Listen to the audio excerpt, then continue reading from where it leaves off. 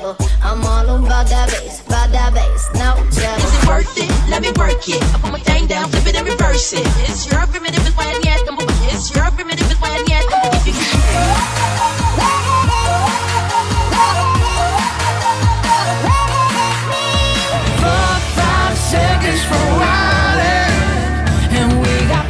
I can figure fit that home with your beats in. You know where your picture become when the weeds in. Trash the hotel. Let's get drunk on the minibar. My milkshake brings all the girls to the yard, and they're like, it's better than, better than damn right.